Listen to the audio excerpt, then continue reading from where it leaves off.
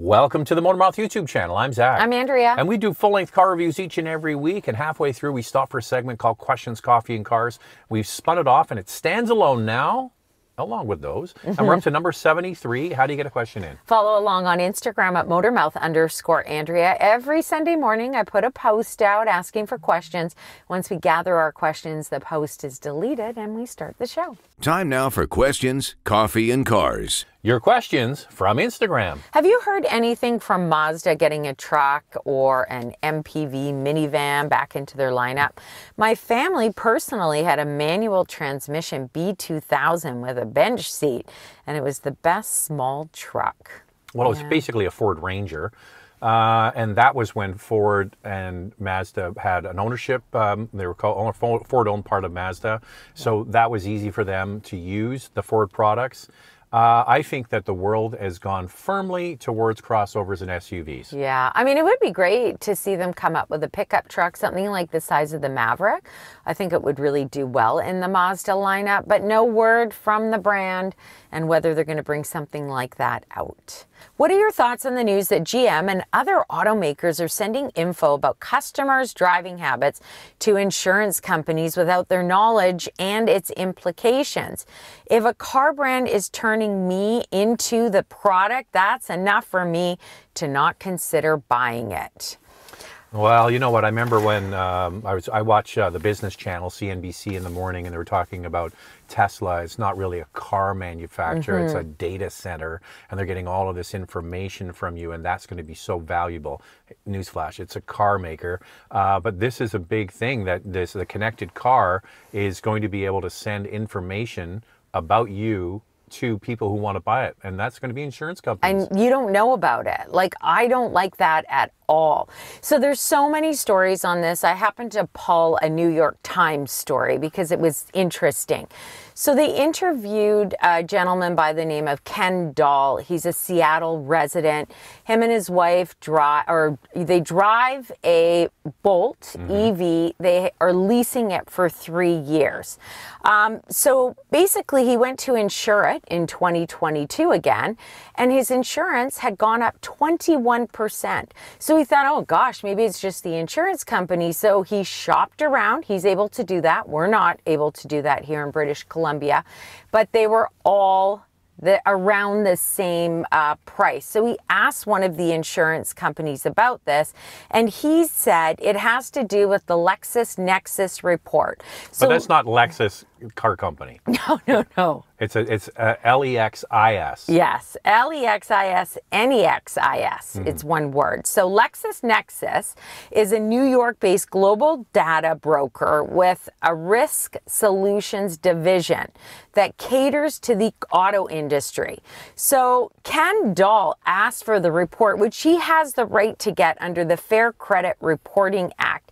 And he says it was, or it is, a 258 page report. And he was absolutely shocked by the data they had on him and his wife. So, more than 130 pages detailed each time. Him and his wife had driven the Bolt over the previous six months. It included the dates of 640 trips, their start and end times, the distance driven, and an accounting of any speeding, hard braking, or sharp accelerations. So he gave an example and he says, on a Thursday morning in June, for example, the car had been driven 7.33 miles in 18 minutes. There had been two rapid accelerations and two incidents of hard braking. So what that what that can do is it can it can tell if uh, you're accelerating quickly and the traction control has to come in, or you're braking quickly and the ABS is activated, right? So, and the reason why they have that, excuse me, is they had the um, the teen driving app that yeah. you could download. And as parents, you could use the same technology, the connected car, to tell you if your teen had had hard acceleration sure. or emergency braking. Speeding. So it can tell if the traction control had been activated or the ABS had been activated and if the speed was over a certain uh, rate. And well, that was maybe nice for parents to see, but now the insurance oh. company can see it. Not good. Not good at all. So it also said in this article, which I thought was interesting, in recent years, automakers, including GM, Honda, Kia, and Hyundai, have started offering optional features in their connected car apps to rate people's drivings. Probably similar, maybe, to this Mm-hmm. you teen. suck at driving. So Yeah. some drivers may not realize that if they turn on these features, the car companies then give information about how they drive to data brokers like LexisNexis. Okay, I just want to say we just got a new car. I know we talk about this, this silly car a lot, but it's just because it's new. Uh, so And did, about this app in yeah, and particular. so, so we we just got a new GTI. Yeah. And um, when we went to pick up the car, the guy was there who was showing us the car. He really wanted us to sign up for the My VW app, right? Yeah. And I was like, why? do- I don't want to be a connected car. I don't need to know, uh, you know. Um, and I and he says, well, you can see if the doors are locked or unlocked. You can lock them or unlock them, and blah blah blah blah blah. And I was like, I don't really. And then I thought, he says, well, we get scored um, higher from the company if we activate this. And I thought, well, I'll do the guy a solid and I'll activate it just because they treated us so well. Yeah. So I did it. But now I'm thinking, about why did I do that for? no, I, I would get rid of that. I wouldn't have Going that on- app. After I'm- reading I'm this, going on there now, at Andrea. I'm getting rid of it. Volkswagen was not named in this article, uh, but still, like this is kind of the future of the connected app. And know- where does all that data go? You know what I would like to know is like you if if you have access, I don't know this, if you have access to the SIM card in the car somewhere. Like where is that little SIM card? Because it's Yeah. sending data through 5G or 4G connectivity, right? So where is the SIM card? Can you go in somewhere in the car and just take the SIM card out? Maybe. You know, it's also a concern. Like our son is a new driver. He's a good driver, really good driver. He does not have a connected car. He doesn't have a connected car. We're going to keep it that way.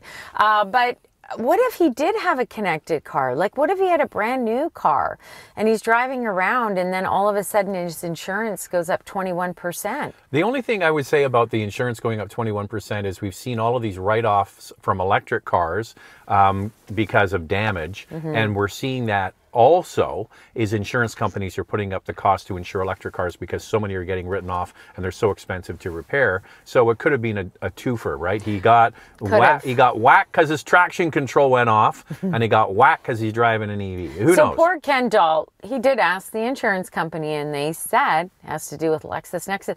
Could you imagine? You'd be like, well, what's LexisNexis? What's this report about? And then you get it. And it's a 258 page report. Like that would Andrea? just, I would just, that would just be like, are they you know kidding? everything you're doing already. Like, don't kid yourself. This is yeah, but they're not sending to it you. to my insurance No, company. they're not sending your insurance company, but they're sending all of their. You're listening. They're listening. Hello, how do you like questions and coffee so far? It'll come up something about, About questions coffee. and coffee. Yeah, questions, What's coffee. your favorite coffee spot? Uh, yeah, I, I, I don't look at. I know some people are bothered by that too, especially with I'm Google. bothered by that. But um, they just keep feeding me stuff. Like even if I watch a video on YouTube about dogs, then I'm fed dogs, dogs, dogs. It's like enough. I don't want to see this anymore. Hey guys, I love your content. What would be the best SUV, maybe car, for carrying two golf bags without having to drop the back seats? We have an Audi Q3 and find it too small for carrying all the gear. So it depends if you want to go, you know, lengthwise or um, side to side. Yeah. The, you know what? I don't know. You We gotta don't take, play golf, You got to take your I. golf clubs to the dealer and try it out. That's That's, really what you got to do. So if anybody is a I golfer, just want to say, I just want to say, how did the golf bag become the industry standard. it really is. It's the industry standard for for cargo space because we go to all of these events and they go, you can get three golf bags. like what? What was? What about a what about a goalie bag for hockey? No. Now that's a real test. The other one is how did the Olympic sized swimming pool? It's the size of an Olympic sized swimming pool. I know. It's You- like these these catchphrases catch on. But you are right about golf bags. Like this is a big deal. I've even had viewers saying, "Can you do like a golf bag check?" Zack and I don't own golf clubs, and we don't have bags. I, I did have golf clubs At then- one time, Yeah, yeah. but this is recent because I was cleaning Oh. out the garage and I just left them in the back lane. Did they go? They did were somebody gone in a them? day. Someone took them. Yeah, we've got this back lane, and you put things out there, and it's It is- just gone. the greatest Zack's re- decided not to put the bottles out there anymore. He wants. The It's the greatest recycling program ever. Is the back lane. So I did a little research, and uh, Acura RDX, Volvo XC60, Honda CRV. Apparently, you can do that now. Anybody who is a golfer out there, please chime in. This would be very helpful for this other viewer to know which vehicles, without folding the rear seat down, can fit two golf clubs. So if you could Lots, do that, Lots can. You need to go to the dealer with your bag. but and yes, check it out. that's the big thing. It's the same with car seats Yeah, and you gotta take the strollers. car seats. You got to take it all with you. Are you open to consider endorsing any product or services other than car related in each of your segments? Just thinking um, out loud about it, the on screen chemistry of both is great. Yeah, Thank well, we have an agent. If you want to um, advertise on the channel, you can just go to the YouTube page and click About or Reboot in Yeah. Canada. And then that's Kyle's email. Send him an email and say, We'd like to sponsor the Zork and Drea show. And um, we'll consider it. We have some new sponsorship coming up in April, May, and June. It's got nothing to do with cars. No, we are fussy about what we endorse. I mean, we we you know, have to like it. I don't yeah. like to endorse things just to take in money. It's just not who we are. So we limit ourselves on endorsements. It's the same with Instagram. I have people constantly um, writing about fashion or jewelry that I could wear on Instagram. I just feel like um, I would rather not. I'd rather focus on car stuff Are they and trying just to wear get my you- own stuff. Are they trying to get you to do a bikini haul? Yeah, bikinis is another one I get. I'd yeah. be down for that. Workout gear. Uh, the other thing is um, we do try to keep it automotive related because we are looking for something that is a service that you might actually be able to use. Like in the fall, we had um, a month long Toyo Tires giveaway. Now that's something you can actually use. Tires are obviously very important. And then um, if, if it's if it's not automotive related, it's got to be like a blue chip kind of brand. Yeah. We're not going to just go and do stuff that people, uh, you know, Well, we just don't want to flood the channel with endorsements and more ads. And, you know, we like to keep it pretty clean. Love the show. Thank you. Looking into a 2019 to 2021 Volvo XC60, but scared of Volvo reliability. What kind of issues do these vehicles have most often? If you want to keep this vehicle for five plus years, would you just avoid a Volvo? Well, you could always get a certified pre-owned and then get an extended warranty or buy an extended warranty. Uh, you know, Volvo's reliability scores are not that great, and I'm always cautioning people about buying Volvos. But then we have other people that have Volvos and they love them. They love them. Uh, so, yes, chime in again if you have a 2019, 2020, 2021 XC60. How has it been for you? When you check the reliability scores, Consumer Reports doesn't give any of those models a good reliability score. Uh, in fact, most of them under 57 out of 100 for reliability. JD Power better. Um, some of the years, uh, 20 and 2021, 73 out of 100. But remember, JD Power tends to skew a little bit higher. If JD Power gives something like an 82 or an 85, That's that is great high. reliability, The one- right? Yeah, the one thing about Volvo is they don't change their cars really. I mean, it's the same product that's been out for years. So you would hope, and if you watch this regularly, we talk about cars that have been out for a long time, typically are more reliable. So the thing about the XC60 has been around a long time, Mm-hmm. so it should be it should be okay. But I just know all I can say is my gut says I'm not a huge fan of older Volvos. No. I, I feel the same way. And according to Consumer Reports, they also agree with us. So keep that in mind if you continue to move forward with those models. Looking at getting a VW Cross Sport, mm-hmm. which, in your opinion, is better, the older V6 or the new turbo? Which would be more reliable? Well, I think the older V6 is more reliable. That back to engines that have been around for a long time. The VR6 was introduced in Corrado in the early 90s. The first time I drove it was 92, and it was it evolved into uh, larger displacement. and ended up being a 3.6 liter, and it was in, in the Porsche Cayenne. It was in the Panamera, and it's been in that for many years. It sucks gas, but the engine part of it, that's the one that's going to be more reliable. Now, the older models um, of the Atlas do not get a great score, and many people have had trouble with the Atlas. It doesn't have a great reliability I doubt it's score. the V6 engine though. It's I, something I doubt else. it's the V6 engine as well. I don't know what the issue was with it, but many people will say I had lots of problems with my Atlas. This newer model, believe it or not, seems to be more reliable. Um, I don't think that it's based on the on the powertrain at all. I think that. Um, Volkswagen has really tweaked it, and, and maybe when it comes to reliability, they've worked out those issues. But it's a sample size of one year. It And is not a even a year. It came out last summer, so it hasn't even been a year. So just keep that in mind. Yeah, one thing we we actually thought the Turbo 4 was good in it when we It drove the Atlas, but I do find that the EPA numbers that that you get are not really real world. The thing about a Turbo 4 is if you push it, then you're going to use more fuel. And sometimes when you look at the numbers between a V6 and a Turbo 4, they're not that much Mm. different. And I think that the V6, those EPA numbers are more accurate. That's just my feeling. I agree. Because listen, we have a GTI, and the engine that's used in the Atlas is a basically a more powerful version Mm-hmm. of that same engine. And I'm driving it really easy because I'm breaking it in, and it's using more, way more gas than I thought it would. Yeah, for sure.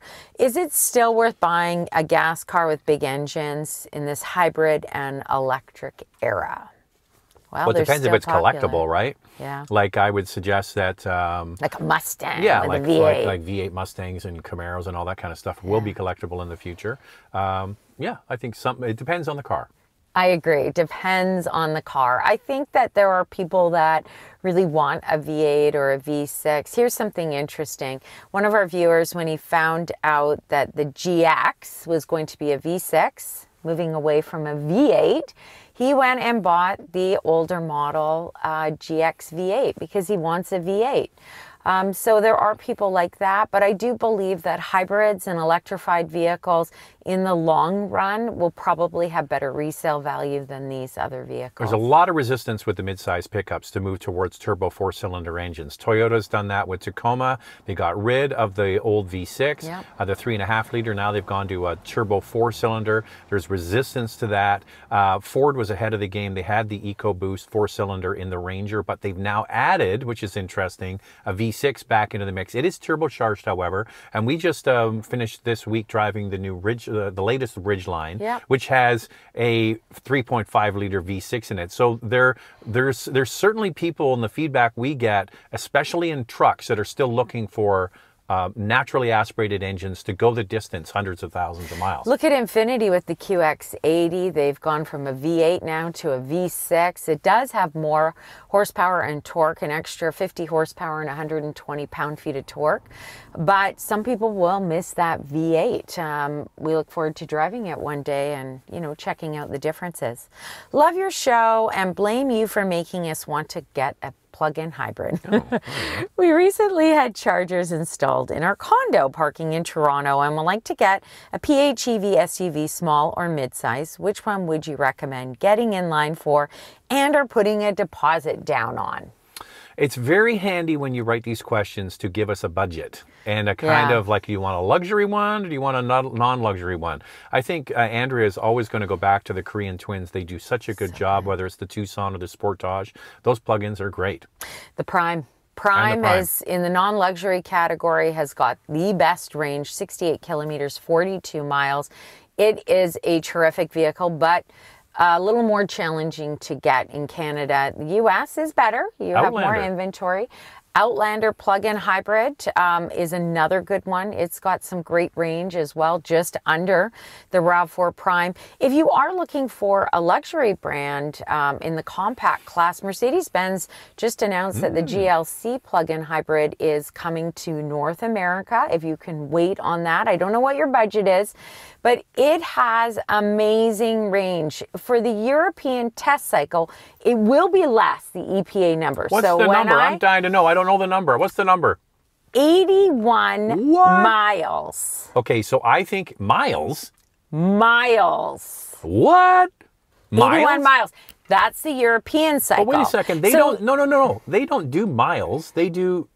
They do This was kilometers. a U.S. This was a Oh, I U.S. So okay. I, I did I did change it from 81 miles, and um, it is where's my notes? 81 miles, 130 kilometers. That's the European cycle. Typically, the EPA is about 30% less, give or take a percentage or two. Um, so that will be 57 miles, 91 kilometers. Now we're talking. Wow. Now that's a PHEV. right. Wow. Isn't that, good? That ain't going to be cheap, Andrea. That ain't going to be cheap. No, but boy, that will be a big hit for Mercedes Benz. Boy, you you kept the best for last, Andrea. That was a nice surprise. Wasn't it? Well done, Mercedes. Yes, happy about that. Look forward to driving it. See, start saving now. Start saving if you can wait. Doesn't sound like you're in a rush. That might be the one for you. All right, we're all done. Andrew, how do you get a question in? Follow along on Instagram at motormouth underscore Andrea to get your questions in. I post every Sunday morning. Once we gather our questions, the post is deleted and we start the show. Are you sure that's not a typo? It's not a typo. Pretty amazing. Thanks for watching. And if you like what you see, subscribe. Bye bye. Bye.